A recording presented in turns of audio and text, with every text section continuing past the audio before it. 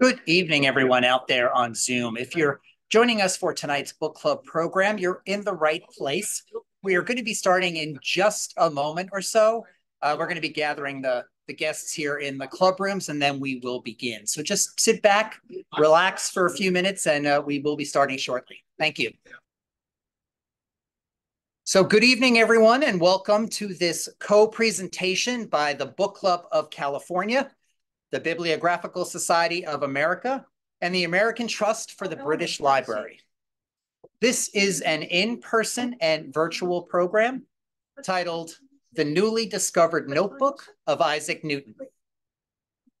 My name is Kevin Kosick, and I'm the Executive Director for the Book Club of California. It's my pleasure to welcome you all this evening here in person and on Zoom.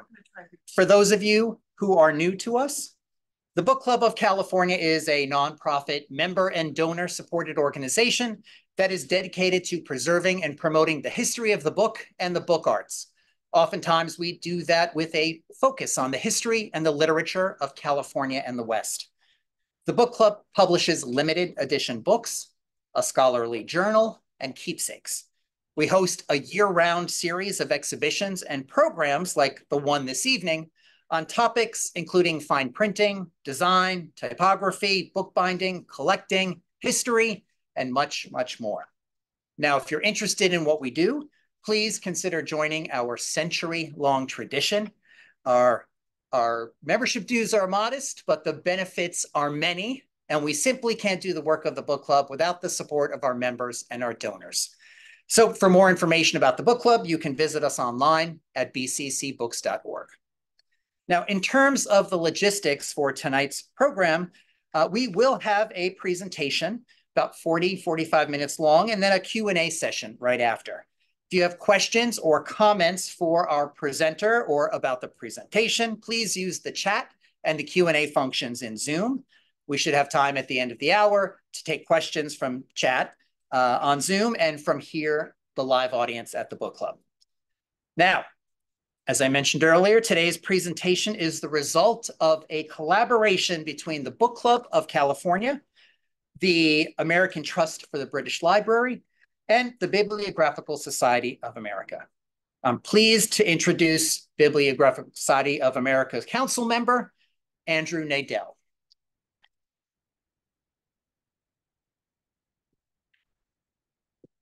Thank you very much, Kevin.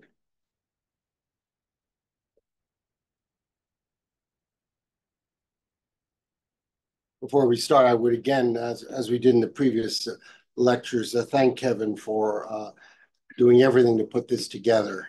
Um, without the support of the book club, I don't think we would be having these lectures in San Francisco. Um, I, am Andrew Nadell. I've been a member of the book club. Oh, okay, sorry. Oh. Can you hear me? Barely. Barely? Is that better? Okay.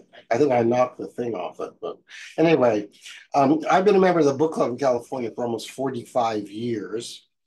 And I am very pleased that the uh, Bibliographical Society of America and the American Trust for the British Library are sponsoring this lecture in cooperation with the book club.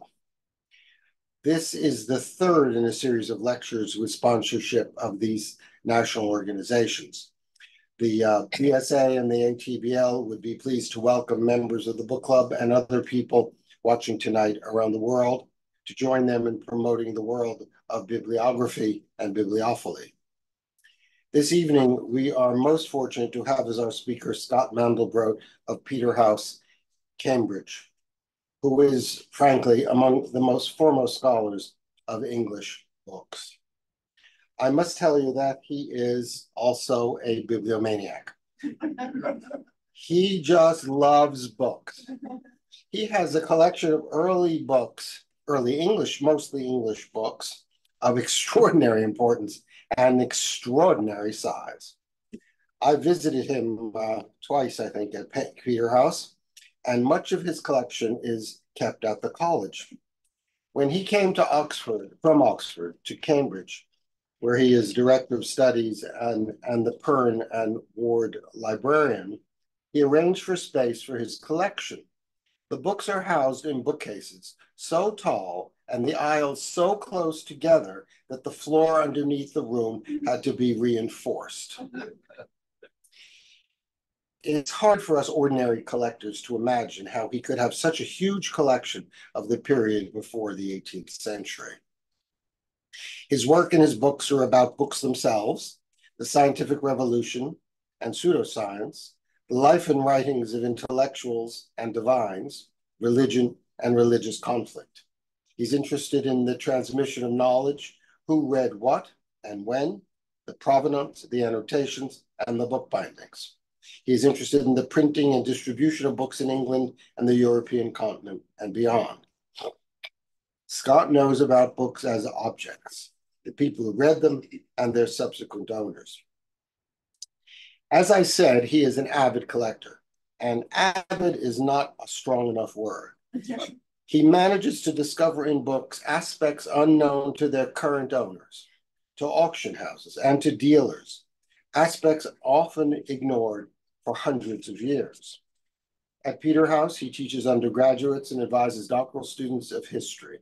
He's in charge of the Newton Project, part of which he will speak tonight. He supports the Cambridge Bibliographical Society, encouraging young students in their collecting. He is a member of the Association Internationale de Bibliophilie and the Grolier Club. But I discovered he does not have a Wikipedia page. I have a friend, however, who lives in Europe who writes them as a hobby, and I'm going to ask him to remedy the situation. You have no choice. you did one for Eleanor. However, if you search for Scott on Wikipedia, exactly 39 articles appear referring to him. 39 articles. I wonder if that is a coincidence or the work of some guardian angel, angel with Anglican sensibilities. Having noticed that Scott is interested in the role of the church in 17th century England. He is also, it is unbelievable, he's also a member of a most distinguished family. After graduating from Eton College, he went up to Oxford, where his father and his grandfather had also studied. His father was Bertram Mandelbrote, the psychiatrist, among the foremost English advocates for community and social psychiatry in the 20th century. I had heard of him long before I heard of Scott uh, in psychiatry. His grandfather was Harry Mandelbrote, who was a professor of constitutional history and law in Cape Town. His brother is Giles Mandelbrote, who spoke to this audience in 2022 and is the librarian of the Warburg Institute. There is a Mandelbrote Drive in Littlemore in Oxford. Unlike the little tiny street in San Francisco called Nadell Court, the history of which seems to be unknown, Mandelbrote Drive was named for Scott's father for his contributions to the hospital, Littlemore Hospital, and to the community there. So tonight I have great pleasure in introducing my friend, Scott Mellon.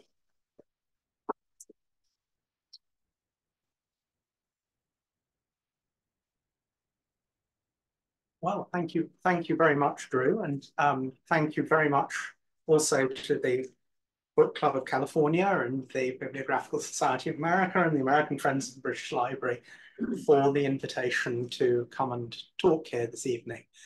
Um, I'm going to talk to you about um, something I found um, in uh, the middle of a rather difficult period in English history, in other words, a period of time when everyone was confined to their houses. I took advantage of um, the legal possibilities of traveling for work um, to go down on an empty train to London to visit an auction house to have a look at a book that they were offering. And that's the book I'm going to talk to you about. So I'm going to talk to you about a good thing that came out of the COVID pandemic, the best thing being um, that the University of Cambridge was able to buy the book I'm going to talk to you about. So if you want to have a look at it, it's now MS Add uh, 10,345 in the Cambridge University Library. Um, and uh, really what I'm going to do is try and talk you through what might be thought of as a bibliographical puzzle, which is to think about um, what was it I saw? How did I know it was what I thought it was? Can I convince you that I'm right and that I'm not mad? Um, and what might some of the significance of that be? So I'm going to start with a slide, which is the slide on the screen, um, which is there really to make you think a little bit about whether or not I'm mad, um, which is to say it's a slide um, which shows two things. Um, the first thing, thanks to my friend Nick Wilding, is um, a forgery, a manuscript attributed to Galileo, now thought to have been written in the 20th century by Tobia Nicotra, uh, and on paper which was made some 150 years after Galileo's death. Um, Galileo, of course, died just about the same time that Newton was born. So one can see one has theories about the transmigration of souls, then this, this you know, works works nicely. Um, and um, the picture on the bottom right of the screen is from one of a number of notebooks of Isaac Newton's, um, which uh,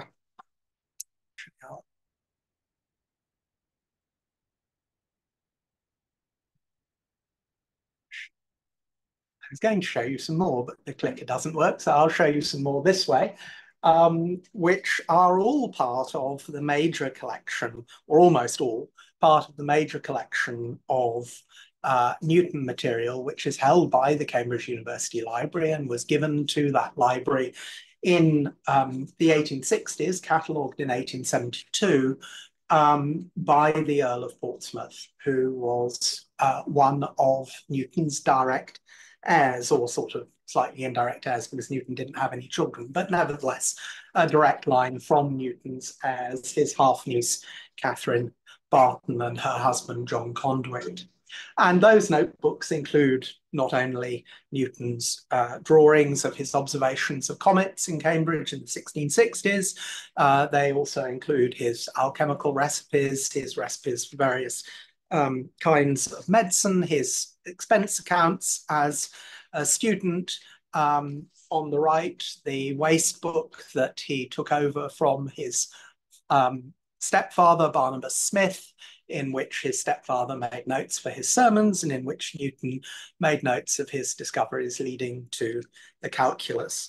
Um, other notebooks that Newton kept uh, include on the bottom left-hand side, uh, a notebook that he kept, a very small notebook actually, that he kept when he was um, a student uh, in Grantham before he, at the uh, grammar school in Grantham, uh, before he went up to Cambridge um, in um, 1661 and went up to Trinity College in Cambridge, which is where um, these notebooks continued to be kept and continued to be written by Newton, and where I hope to show you that another notebook was also written.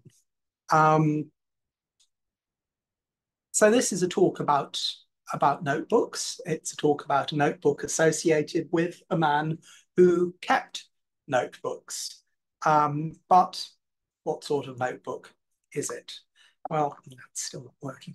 Um, who are the people, to begin with, who are the people who I'm going to talk about? Um, they are principally two people. Uh, one man, uh, Isaac Newton, who you can see on the left here in the earliest portrait of him painted by Kneller, probably about um, decade after I'm the events that I'm going to talk about. Um, Newton there, as he perhaps appeared as Professor of Mathematics, Lucasian Professor of Mathematics, as he was from um, 1669 in Cambridge. Um, and another man whose picture I can't show you. So I've done the next best thing, which is to show you his signature. Uh, so this works. Let me find it. This man here.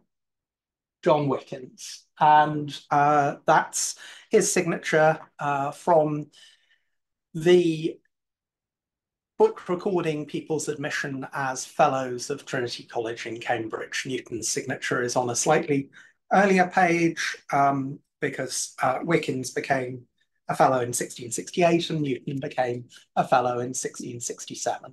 So these are two people who are contemporaries in their same, the same Cambridge college. And um, so that, oops, that gets us to this, which is a notebook. The notebook that I want to talk to you about, which is um, about the same size as many of Newton's pocket notebooks, um, although it's rather more finely bound than any of Newton's notebooks, um, certainly than the waste book, which you can see on the right-hand side there. Um, but um, this is the book which I went to look at in March 2021.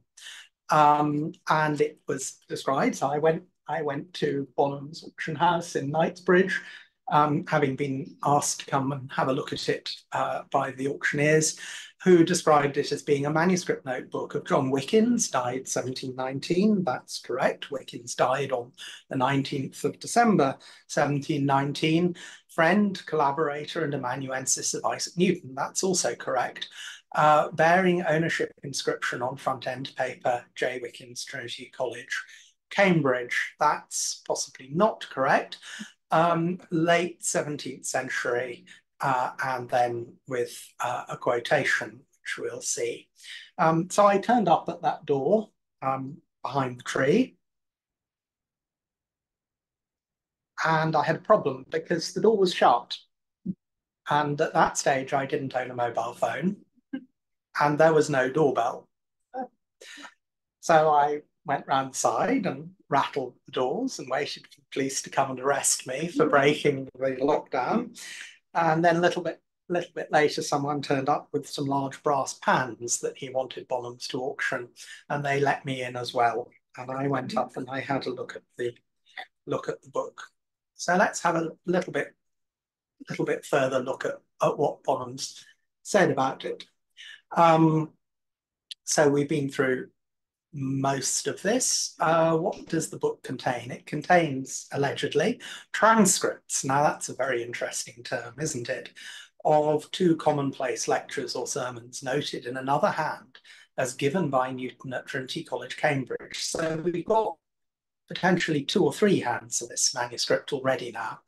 Um, so transcripts of um, some lectures on Romans, uh, commonplaces. That means lectures given in the context, usually in Trinity College Chapel, of procession through the um, hierarchy of degrees and fellowship and so on, uh, on the subject whatsoever is not of faith is sin, and a further essay in Latin on morality. Well, we'll hear a bit more about that one soon. The volume ending with copies of some letters from my chamber fellow, Mr. Isaac Newton, when I was at Monmouth, comprising transcripts of three letters sent to Wickins by your very loved and chamber fellow, Isaac Newton from Cambridge.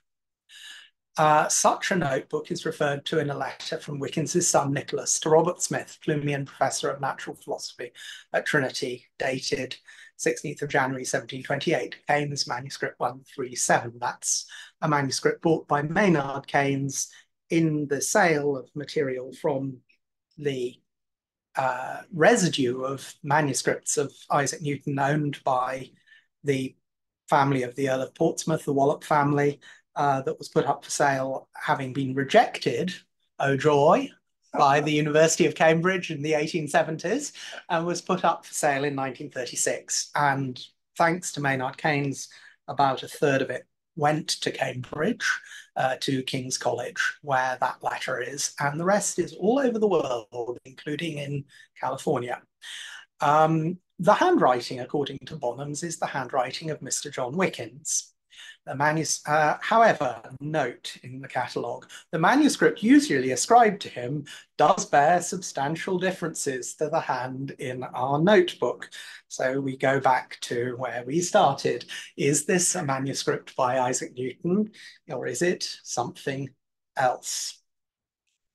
And uh, is it a forgery or something else that someone would love to know? So that is the letter. Um, from Nicholas Wickins to Robert Smith. uh, written at Stoke Edith, a place that uh, has extensive connections with the Wickins family because several generations were rectors of Stoke Edith, which is a little place in Herefordshire, um, and describing, mentioning in it um, a basically saying to Smith, I haven't really got anything that has any connection with Isaac Newton, despite the fact that my father was his chamber fellow. But I do find that I, I have a little, I find very little under Sir Isaac's own hand, etc., uh, etc. Et but um, that he finds that he has uh, a small notebook that was kept by his father. Um, and just sort of to add to the puzzle, we then have this note describing it, um, quoting from a 19th century life of Newton uh, and referring to also to this letter um, written in yet another hand. So, some more hands. So that's the signature, according to Bonhams. J. Wickins, Trinity College, Cambridge? Well, could be, might not be. You make your mind up. Tell me whether you agree with me. Um, there's um, another 19th century hand. So we've definitely got um, something going on here. And there we have um, a page of the notebook. And there we have the manuscript with which, to which Bonhams compared it. Now this manuscript, which is um, is in the Cambridge University Library because it was deposited, manuscript on the right-hand side, was deposited in the library um, by Newton uh, as proof of the fact that he's been doing his job. So slight problem if you're Newton. So if you're the Lucasian professor of mathematics, you're supposed to give lectures regularly and um, you're not trusted that you're going to do this because of course no one will come to your lectures, which is indeed what happened in to Newton's lectures. So you're asked to deposit um, the proof that you've given your lectures. And there are, in fact, two copies of the this particular set of lectures in the Cambridge University Library now. There's the retained copy from which Newton probably gave the lectures, which is in the Portsmouth papers that were acquired in, 18, in the 1870s. And there is this copy, which was deposited in Newton's lifetime as proof of the fact that he'd been doing his job. So, um, and in Newton scholarship, um, so recondite is it that we actually can can uh, one can say this sort of thing. Um, this manuscript is usually referred to, indeed, by anyone who's identified it, as being written by John Wickins. So this is this is John Wickins's hand, we are told. And it will immediately strike you, even those of you who can't actually see the manuscript, so that probably is about rows three back, um, that the hand is not the same.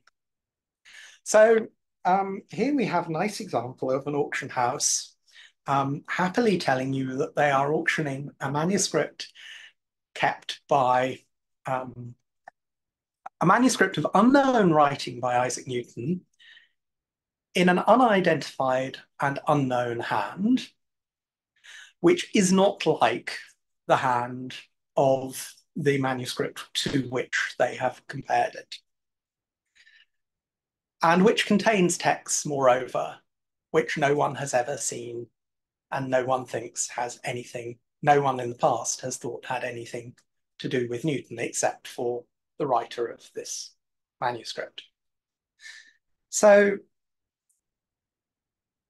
that's good um, because um, it means that there's a little bit of work to do. So um, this is another piece of handwriting which has been thought to be by John Wickins. Um, and you can see that it doesn't work either. So that's good. But here is another piece of handwriting. This is part of the manuscripts which were collected together um, of Newton's optical writings that eventually became the drafts from which Newton composed the Opticks in 1704. So he'd been working on optical material from the well, from the 1660s, early 1670s onwards, and um, brought materials together, uh, which he then converted into the text of the Opticks, um, beginning in the late 1680s, early 1690s, and then with a pause, and then finished off just before the book was published in 1704. Um, and I thought this handwriting actually looked quite similar to the handwriting on uh, the left, so to the notebook. So potentially there is an amanuensis whose hand appears in the Newton papers um, and whose hand looks like the hand of the notebook. And this is um, a letter in the same hand, uh, which again, I think looks quite like the hand of the notebook. Um, and I'll give you some more samples to look at. So I'm in no. Um, slight problem here is that I've had to blow the notebook up, so the handwriting is is is larger. It's normally much the same size, but there are a lot of very similar letter forms if you start start looking, and uh, you keep if you keep looking, you can see more more similar letter forms and relatively few letter forms that are unrepresented in uh, both manuscripts, bearing in mind that one of them is a letter, which is quite small, quite a small sample.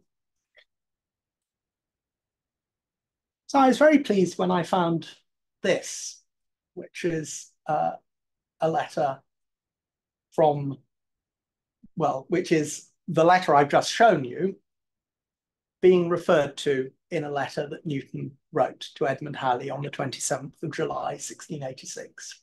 Yesterday, I unexpectedly struck upon a copy of the letter I told you of to Hugenius, that is, to Christian Huygens.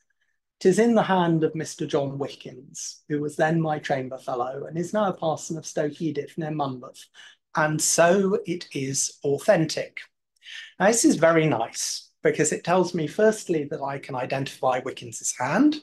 Wickins's hand is the hand of the writer, the amanuensis who wrote that letter, that letter to Christian Huygens. And secondly, Newton himself says things written in Wickins's hand are authentic. So those are things that I've written. So this made me very happy um, because it made me feel that I could believe that this manuscript might have been written by someone who might have known Isaac Newton, or actually who did know Isaac Newton, and in fact lived in the same rooms as Isaac Newton between certain dates. And here there's also some uncertainty. When did Wickins and Newton actually live together? And why were they living together? I should say living together means simply that they shared a room. It doesn't mean anything more significant than that. Um, and they evidently also shared some work with one another.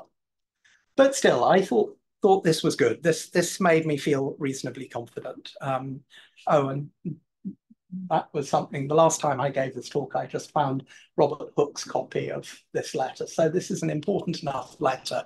We don't have it in Newton's handwriting, but we have it in Wickins's handwriting. And Robert Hooke thought in, made sure he got a copy of it at some point. Um, now, at the back of um, the you'll recall the manuscript contains three things. It contains a sermon on Romans. It contains uh, an unidentified Latin text on morality, which we'll come on to in a minute, um, and which is, in fact, the reason why it must be Newton, regardless of the handwriting. Um, and it contains three letters. And those letters tell us a little bit about the relationship between um, Newton and Wickins and fill in some previously unknown facts about that relationship. Um, they also had the absolutely wonderful effect of putting people off buying this manuscript, which was very good for the University of Cambridge library. And that was because Bonhams, as you will recall, said three unpublished letters of Isaac Newton. Um, well, my friend Anke Timmerman, uh, who was the bookseller who bought the manuscript, um, is much cleverer at Google searches than many people, including me. And she managed to find out that these letters were not unpublished. They are not not unpublished in the sense that they appear in the published editions of Newton's correspondence, where they do not appear, but they were published in the Athenaeum magazine uh, in the late 19th century by a man called W.R. Wilson, who we will come back to again in a little while. So we had wonderful fun of a sale room notice correction. Three unpublished letters by Newton are not unpublished. They have been published, which made it much, um, well, probably put one or two people off bidding for this jolly strange manuscript with lots of question marks around it, including whose hand is it in? Why doesn't it isn't it in the same hand as the person's who it's attributed to, and all the rest. So, um, how wonderful um, the digitizing of 19th century newspapers is. Um, I have been working on Isaac Newton for 30, 30 years or so. Um, I have colleagues who've been working on Isaac Newton for rather longer than that, and we had none of us found this publication, um, but Anke managed to, so that was very clever of her. Um, now, um, Mr. Wilson, so who are these, these handwritings here? Well, um, the handwriting in the, in the beginning of the book turns out to be the handwriting of a later owner, surprise, surprise. Um, a later owner who's, who helps us put together the provenance of the book. Um, that later owner is a man called Edward Edmund Verney. And uh, Edmund Verney lived in a place called Plas Rhianfa. And he employed W.R. Wilson, superintendent of the British Museum's reading room, to catalogue his library. And on the top right, you can see the catalogue entry for this book. So in the late 19th century, uh, this book was undoubtedly known and was in the hands of the Verney family at Plas Rhianfa. And they thought, unsurprisingly actually, because David Brewster had thought in the biography that he published of Newton um, in uh, the mid 19th century, and he thought it because he'd read that letter by um, Nicholas Wilkins, uh, Wickins rather, Nicholas Wickins, that this was um, a manuscript uh, connected with Newton. So how did it get to Plas Rhianfa? Well, it got there through the will of John Wickins, who died in 1719, who divided his library in half. And he shared his library uh, with two of his children. And um, this notebook descended from his from the father John Wickins to the son Nicholas Wickins, 1689 to 1773, who, as we've already seen, succeeded his father as rector of Stoke Edith. Uh, it was then probably inherited by Nicholas Wickins' son Thomas Wickins, 1729 to 1787, uh, whose will you can see here, and then to his son, also Thomas Wickins, 1767 to 1842. It then went to the owner or the builder of Plas Rhianfa, Sir John Hope Williams, then to his daughter, Margaret Maria Hay Williams, 1844 to 1930, who married in 1868 Edmund Hope Verney, 1838 to 1910, whose hand, as we've seen, is found on a modern piece of a piece of modern paper, which is pasted into the front of the notebook. So then, so there we can uh, provide a provenance for this book, which nicely goes back to John Wickins. But those letters of Newton in this book are to John Wickins at Monmouth, not surprisingly enough, John Wickins, whose bed is next door to mine in a chamber in Cambridge. Um, and that is because um, Wickins was uh, in the late 1670s was no longer resident in Cambridge. He was instead taking part in a huge fight in the Welsh border town of Monmouth, where he had been uh, preferred to uh, a job as town preacher by one of the London livery companies, and uh, where the inhabitants wanted somebody else as their town preacher. Uh, and that nicely generates all sorts of controversy, which one can trace um, in this case in a manuscript in the Bodleian, and which led eventually to Wickins being um, sacked and to his taking up instead the rectory of Stoke Edith uh, under the patronage of the Foley family, who are big landowners in that part of the world and who continued to patronize the people. So Wickins, who was thought possibly to have left Cambridge in the early 1680s, actually left Cambridge in the late 1670s.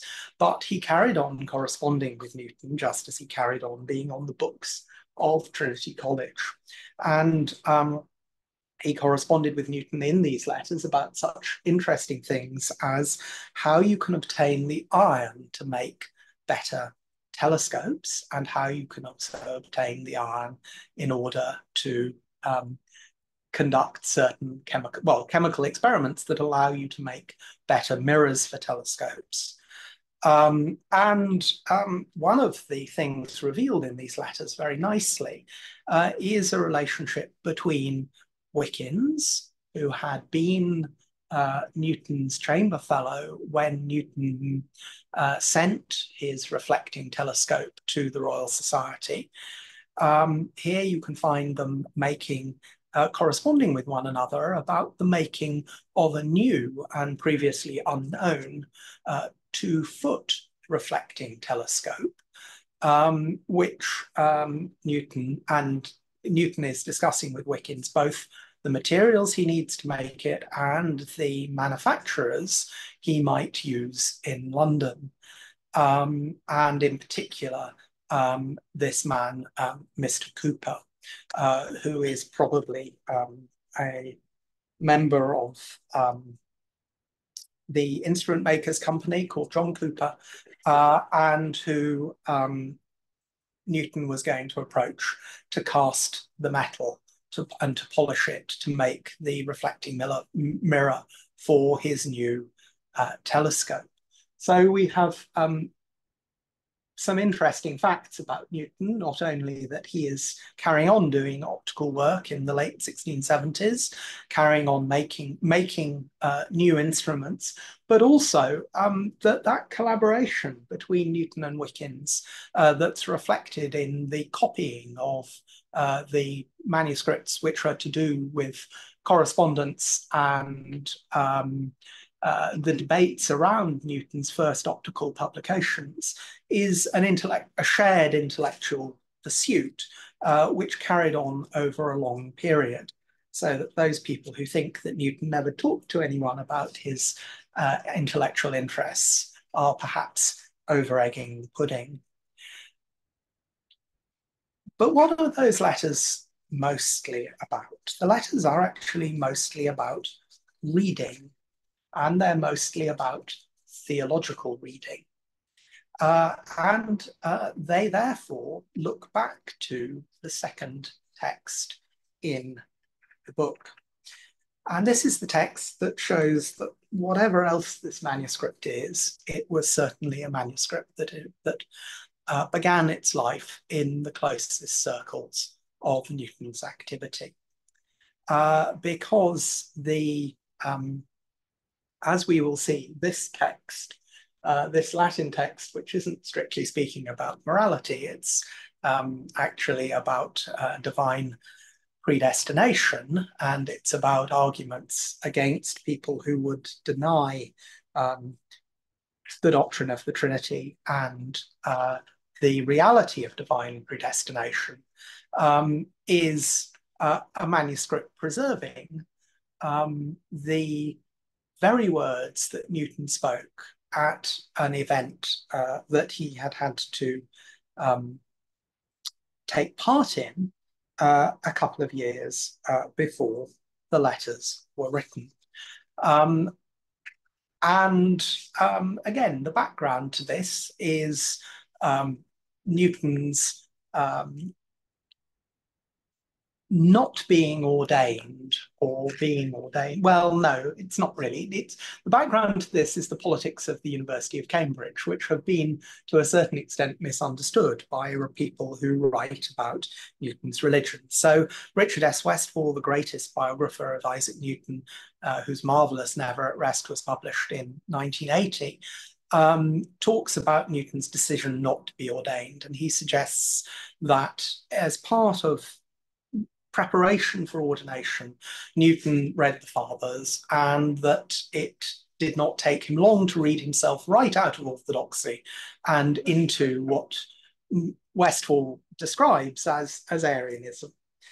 Well, um, this document casts some doubt on those conclusions because the words of Newton represented here are all perfectly orthodox, although the reading is certainly reading of anti of Arian and anti sorry of anti-Trinitarian texts, um, not so much Arian as Socinian. And the context for reading those things um, is a context provided by this man, Joseph Beaumont, master of Peterhouse and professor of divinity in the University of Cambridge.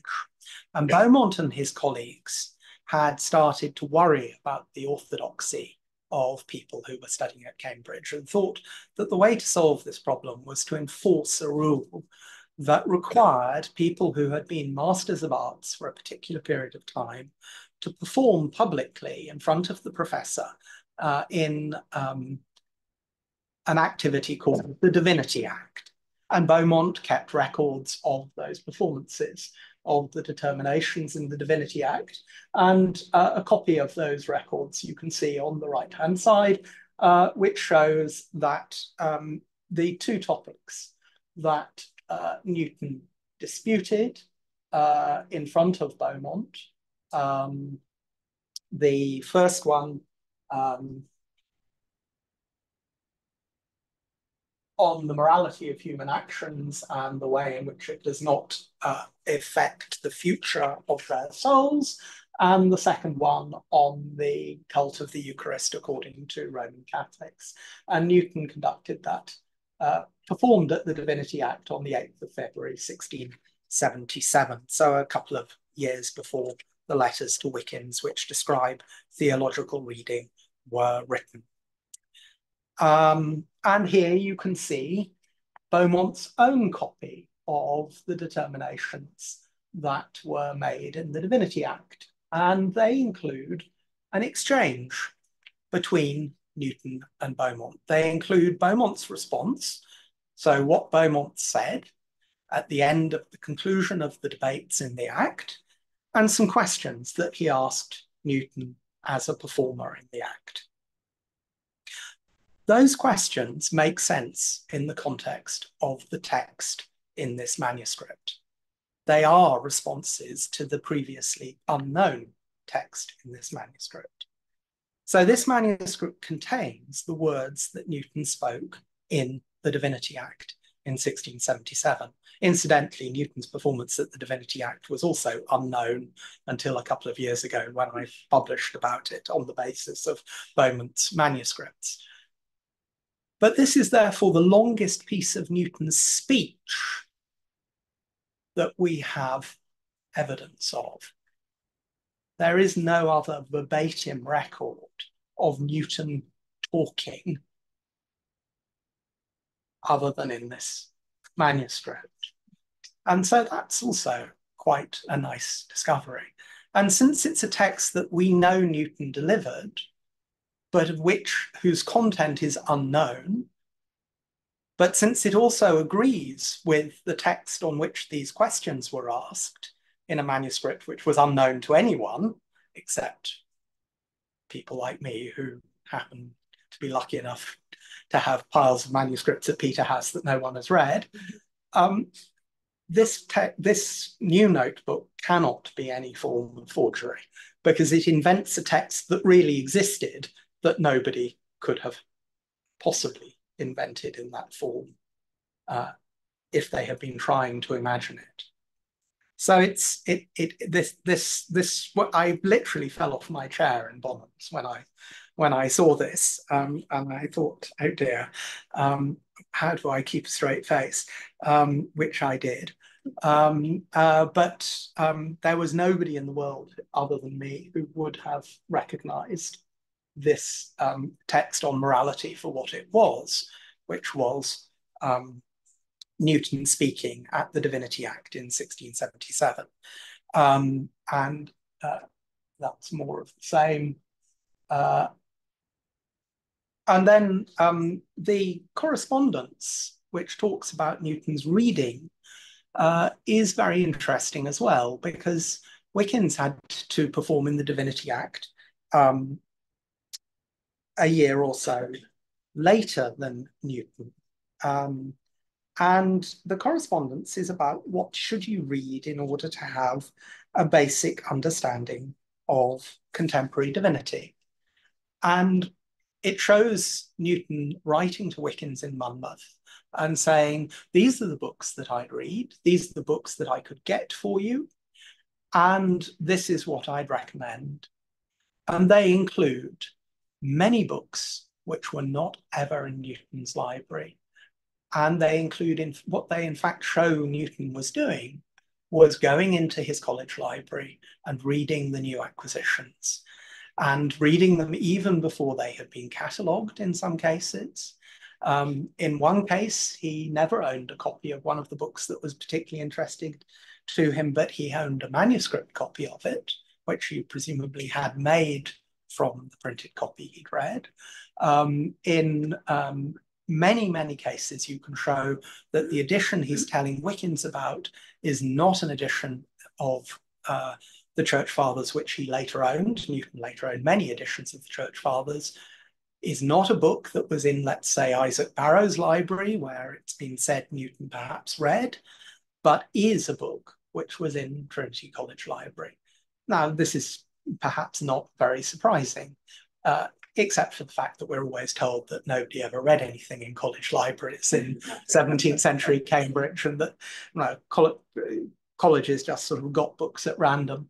Well, Newton was certainly reading regularly in his college library and thinking very hard here about set tasks in the university. This is not a fame, this is not a notebook that records the work of a famous man.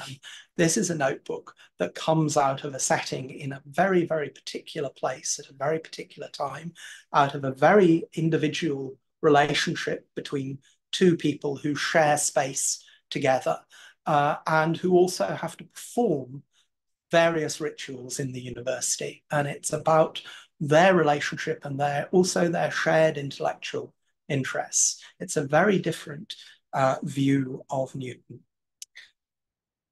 So Newton in the 1670s, early 1680s is writing to this man, Wickins, with whom he shares these social and intellectual ideas uh, and setting. Wickins goes off and spends his life in um, an obscure country parish. Newton uh, becomes the most famous mathematician in the world in 1687 on the publication of the Principia, and in the 1690s leaves for London. Wickins may have written um, drafts for Newton. They may have corresponded briefly, but as his son uh, said in response to Robert Smith, I don't have very much in Newton's hand from my father to do with my father. Well, that's true. He didn't really have anything in Newton's hand. He had a notebook his father kept of things Newton had written and things that his father had copied from things Newton had written that we no longer otherwise have. He also had at least two books that Newton had sent him long after um, the early 1680s and long after Wickins had left Cambridge for the last time. He goes off Trinity's books in 1683 fall. On the top is John Wickins's copy of the first edition of the Principia, with an inscription in Wickins's hand saying it was a gift of the author. Um,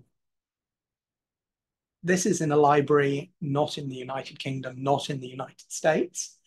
Um, and it came, I've discovered it only quite recently. From the same source from Plas Rhianfa, Bonham's auction, the book underneath, uh, which was in the other half of Wickins's library, not the half that went to um, Nicholas, but to his brother. Uh, and that, again, with the same ex dono inscription in John Wickins's hand, possibly with his signature, um, is the second edition of the Principia, published in 1713.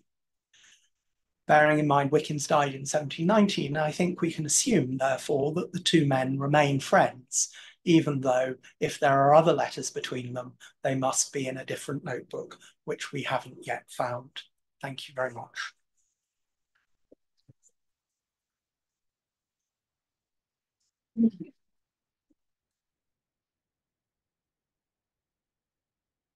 Let me let me run up here real fast to, to help you take some questions. No, no, you get to stay right there.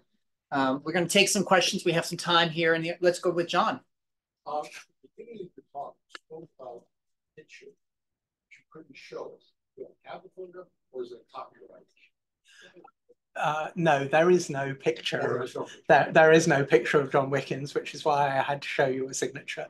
But I also showed you that so that those of you who have very good visual memories could decide whether or not you thought that the the the J Wickins um, TCC or Cant or whatever it's or TC Cant or whatever it says at the front was in his hand, which I'm not absolutely sure it is was it Wickins himself who assembled all of these documents and bound them?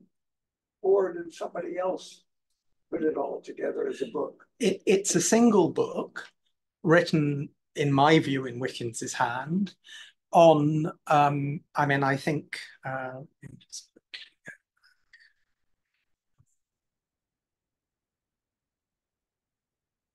there we are, um, bound in what looks looks to me very well preserved but contemporary. Uh, contemporary binding, um, rather a smart binding, though, as I say, compared with with most of Newton's notebooks. Uh, so Wickins obviously copied these out, thinking they meant something to him, um, and um, the paper is uniform throughout the book. Uh, the paper is plausibly um, of the right date. Um, it's a little bit difficult because it's the format of the book means that the watermark is right in the gutter of the book, but but I'm I'm reasonably confident that the paper is contemporary with Wickins. The book is contemporary. Obviously, these are copies, so um, I mean, I think they look to me as if they were all copied pretty much at the same time. Um, they don't. There doesn't seem to be a huge variation in uh, either the hand or the ink. There's a little bit of usage of um, the versa of the page to put extra information in, which makes me suspect that it's not an. I mean, uh, it's there's a suggestion that that as it were the person copying it had had the materials in front of him and occasionally sort of decided he wanted to put something there rather than something than at the end let's say of what he was copying. Um, and I assume that what happened was that well that Wickins um, made these copies because again in some correspondence that we don't have Newton asked for the return of his papers that would also explain why Wickins' son didn't have correspondence of Newton and things like that that he could he could tell um, people who were collecting information for Newton to write Newton's biography after he died about. We have a couple more here. David in the front, and then we'll go in the back. Uh, In the end, what did Cambridge pay for the book? Um, now can I remember? Um, well, it all depends. I mean, you know, you have to pay auctioneers commissions and things like that. What What do you think would be a good price? Rachel, what do you think would be a good price? Well, roughly, ballpark. Absolutely have. The Michael Brett writer.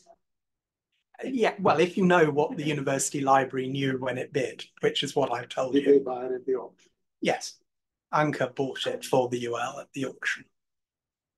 Six figures plus. I mean, for unpublished, original, you know, verified, you six figures plus. Forty-five thousand pounds. Oh, Did Big deal. Um, Did that include the premium? No, that's before the premium. So that's just a hammer, that doesn't tell us what. Six sixty-seven or something like that. Right, Yeah. Um, well, it- I don't think it's too bad. um, it was a lot. It was a lot less than I thought it would make, and I didn't think the UL would. I was hopeful they would buy it rather than certain they would be able to afford to buy it. But in the end, um, it's very good if you have sale notices saying that no, if auctioneers write things that say that um, they've identified the hand of someone by comparison with the manuscript that isn't in the same hand. That's that's very helpful. Um, which you know, I mean, they it uh, this isn't to criticize Bonhams in any way at all. They were extremely helpful, very helpful to me. Um, it it's to reveal the fact that Newton scholarship had got that wrong, had got John Wickins completely wrong for um, well, I mean, he's he's in all all Newton scholarship. His his relationship with Newton is known. The fact that he copied things for Newton is known, but no one had bothered to identify his hand. Not even D.T. Whiteside, the greatest Newton scholar and the greatest scholar of Newton's manuscripts. Who cataloged it for Bonhams, was it Matthews? Um, I I I know, but I'm not going to say. Let's do one more question back here. Maybe uh, observations, uh, one is that uh, um, this is, this is such a poignant story about Cambridge in that era of the, you know, the skyrocketing scholar and the one left behind. I mean, I, I know you understand, I know that's part and probably what you're thinking about. It's just, and I think it's probably not an unusual story.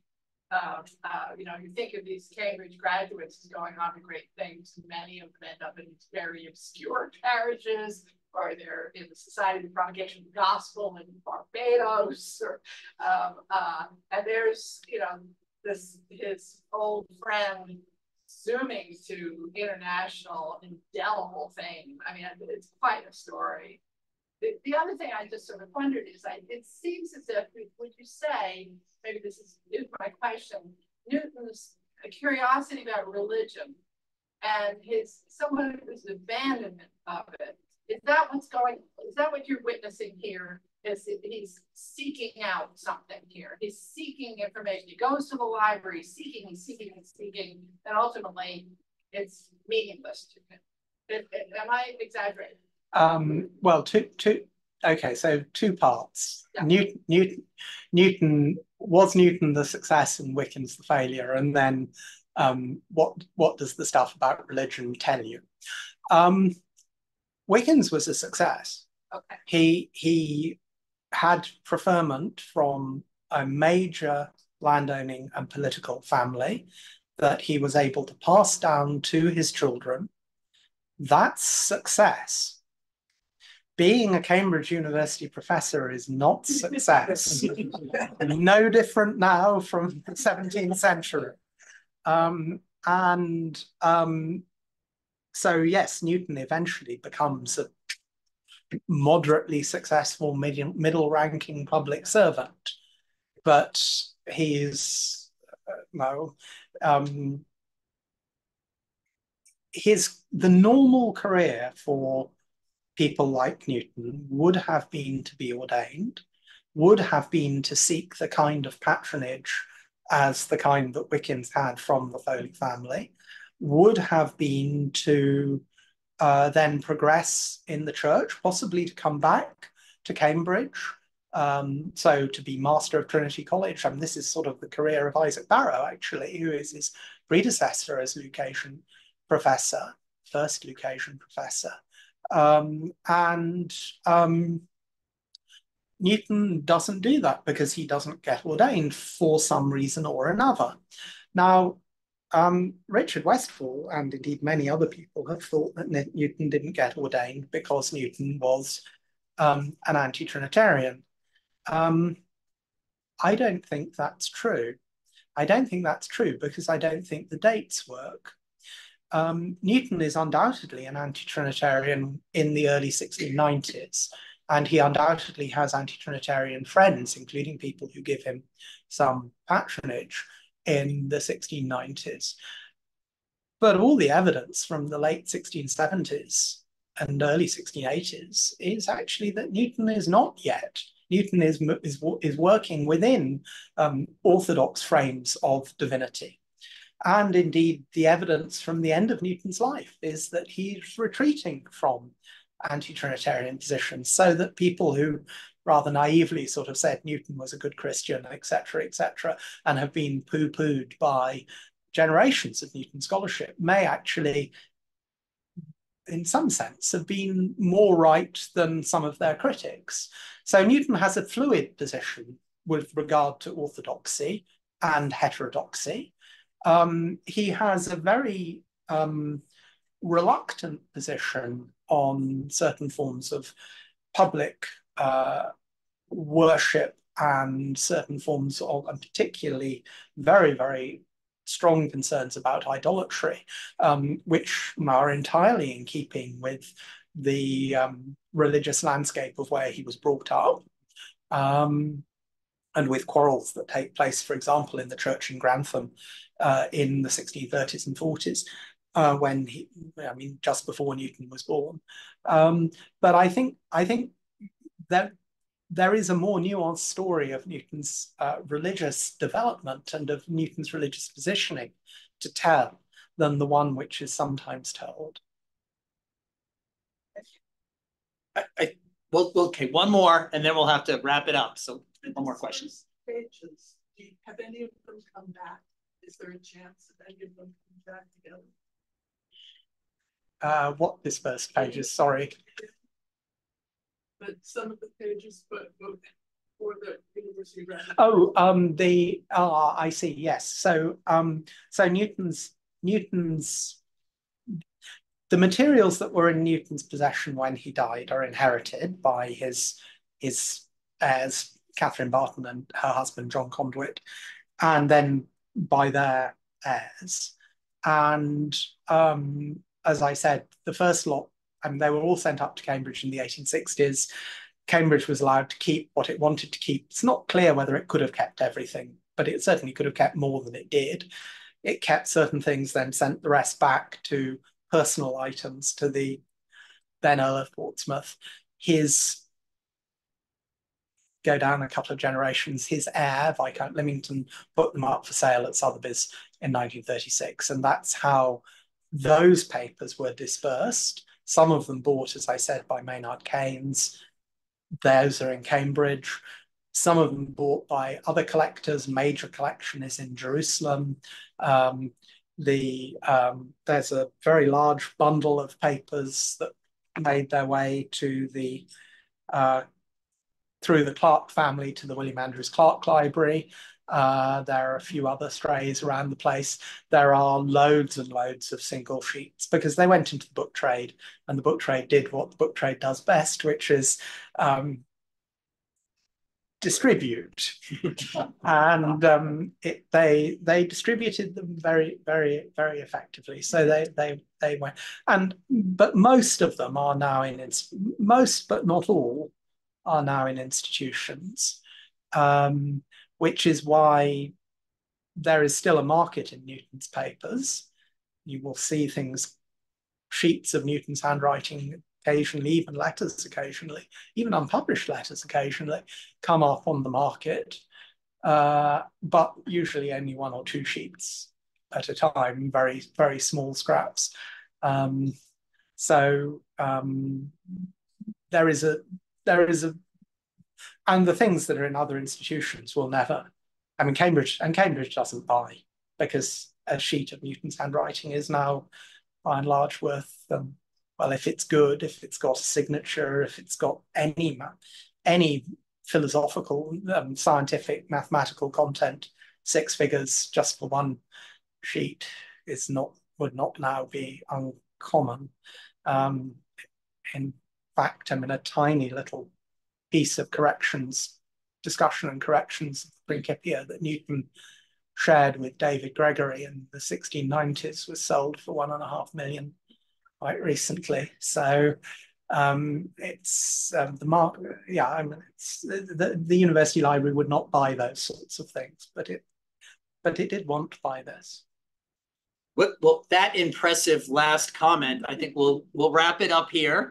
Um, and I'm going to say on behalf of the Book Club of California and the American Trust for the British Library and the Bibliographical Society of America, we all want to thank you for being with us. So let's have a big round of applause for our speakers.